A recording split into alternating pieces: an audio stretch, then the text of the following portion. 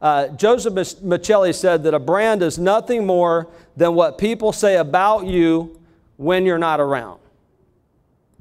International branding expert, he says, a brand is nothing more than what people say about you when you're not around. What do they say about you and your company when you're not around? That right there, your reputation, that's why reputation is number one, because I learned in this industry many years ago that uh, prospects have several unspoken questions that they're not going to necessarily come out and ask you that need to be answered in your marketing message. Can anybody tell me what those questions are? Can I trust you? Can I trust you? If that's not in your marketing message somehow, so that's why we start with reputation. All right, you think you can trust Dan? Yeah, what a great guy. I mean, look at this outfit he's got on, too. Um, so here's how our five point marketing message goes uh, we help you avoid uneducated, uninformed, and sometimes downright unscrupulous carpet cleaners. You know the type. They advertise a low price. You see one of those ads for $39.95. A guy that looks a little like Charles Manson shows up, takes more than he's supposed to take. And uh, how many of you have had those experiences where clients tell you about all the horror stories, right?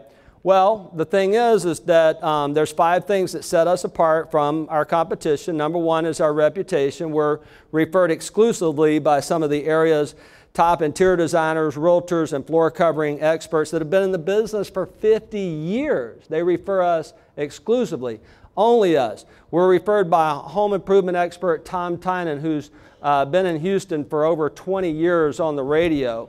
Uh, we've been featured in the Houston Business Journal. We've been featured on various radio programs and television programs. And by the way, one of the things that you do, I'll, well, I'll get to this in just a second. I'll get to the how to in just a second. This is the why. So this is why reputation needs to be first, is you need to demonstrate that your company can be trusted. You have to have a message that you can share in your networking groups, on your brochure, and those kinds of things. Does that make sense? Okay, second thing that sets us apart is our experience. We've been in the business for over 26 years now. We're experiencing all methods of cleaning. Uh, our, uh, we use the most advanced cleaning technology on the market that doesn't overwet the floor or leave a sticky residue behind. All of you probably experienced that in the past. And uh, we also operate first class customer service standards. We're going to show up on time. We even have an on time guarantee. We're going to treat you and your home with the utmost of courtesy and respect. Our guys are uh, clean cut, uh, courteous, uh, dressed well, and uh, they're just going to treat you and your home with the just utmost of courtesy and respect. Uh, we do background checks on all of our employees, so you know who it is that you have in your home. Number three is our training and our education. We're certified by the IICRC, which is the Institute of Inspection, Cleaning, and Restoration Certification. Don't ever use a firm that's not certified by the IICRC. You guys may disagree with that, but it's something that I can point to for my prospects and clients to say, hey, at least they've gone and taken some classes. You know, most people in our industry don't, right? Uh, fifth is our, uh, fourth is our systems. Uh, we operate the most advanced cleaning technology on the market, and I think I may have already covered that. Did I cover systems? What did I miss? Reputation, experience, education, systems, uh, and guarantee. Um, if you're not thrilled with the service experience you receive from our company, we'll rush back to your location. Very good, Dan. Uh, I got that from uh, the Plaza Hotel, as a matter of fact. That's where I swiped that. Was at the Plaza Hotel in New York City with my wife and my son and I called down for room service. What do they normally say when you call down for room service? Uh, yeah, yeah, it'll be, you know, 30, 45 minutes. Isn't that what they normally say? Not the Plaza Hotel. They said, uh, Mr. Partridge, we'll rush that right up to you. Rush. Write that down. Still came 30, 45 minutes. But somebody's down there rushing on my behalf. Right?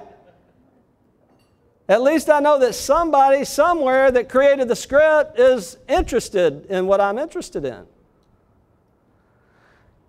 George, oh, did George leave? Oh, sorry. I should see if people are in the room. Lisa, can you apply these five points to an organizing business in the organizing industry? 100%. 100%. See, this applies to any industry, not just our industry. This is a universal message. Every prospect wants to trust the company that they do business with. Every prospect wants to know you know what you're doing, you have the experience. Every prospect wants to know that you're on the cutting edge of technology and training. Every prospect wants to know you're going to deliver what's paid for, and if you don't, they don't pay, you do. Yesterday, always Sorry, I don't want to go over my time because I always think of this stuff that I want to tell you, but so I won't go there. Um, so if you're not in the cleaning business, uh, ask yourself these questions. Uh, you guys are in the dry cleaning business, all right? Who supports you that uh, your clients would recognize, not even necessarily by name, but by industry, that they would recognize as, wow, if they're referred by these types of people, they must be really good. John Browning and, and uh, Jim Bardwell, listen, these guys work with celebrities. These guys work with top interior designers in Nashville, country music stars. You think that they don't have a reputation in that town? Yes. So, to build that reputation, you want to go out and start building relationships with people who are in a position of influence. Experience. What kind of experience do you have in your industry? What kind of training do you go through in your industry? And this list can be endless.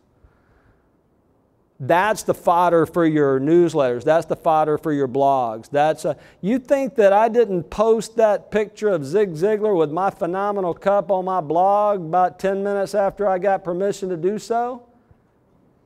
You bet your bottom dollar I did. Um, that's instant credibility because that man has respect. Um, systems. How is your delivery unique? How does it compare to other people? And guess what? We get through this, they're not our prospect, that's okay. Because we're going to do whatever it takes to get the number of people coming in that we need to get coming in. So, what I want you to do this weekend is uh, we have a slide there for you. We have a slide uh, for you to write out your mission statement. You need to have a one sentence mission statement. Dave DeBlander's mission statement is very simple. It's to wow every single customer. And I want you to craft out your five-point marketing message. Jerry over here is in uh, the uh, automotive repair business. Do uh, most uh, mechanics have a great reputation? Not really. Not really, he said. Uh, do they need a little bit of experience if they're going to work on my Lexus? Okay. Do they need maybe some special training to work on my Lexus? Yes. Okay.